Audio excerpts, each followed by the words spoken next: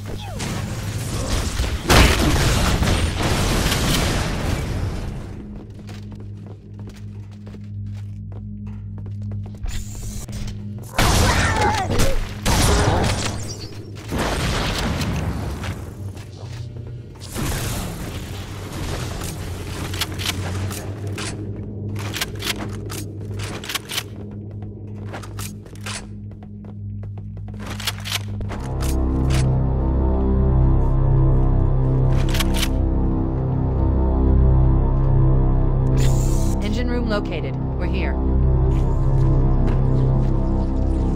Alert! The monitor has given all command access. And start the countdown. The only remaining option is to detonate the ship's fusion reactors. That should do enough damage to destroy Halo. Don't worry, I have access to all of the reactor schematics and procedures. I'll walk you through it. First, we need to pull back the exhaust couplings. That will expose a shaft that leads to the primary fusion drive core. Inadequate safeguards.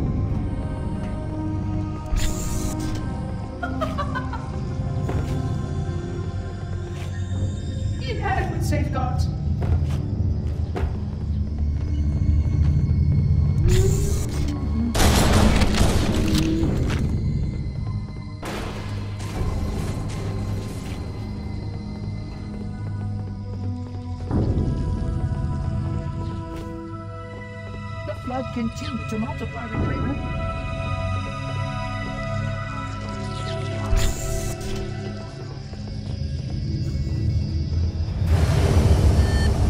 Good! Step one complete. We have a straight shot into the fusion reactor. We need a catalyst explosion to destabilize the magnetic field surrounding the fusion site. Use an explosive. I recommend a grenade or rocket. If you run out of explosives, there is an armory station located near the engine room's entrance. Analyzing. Fusion reactor number one destabilizing. Use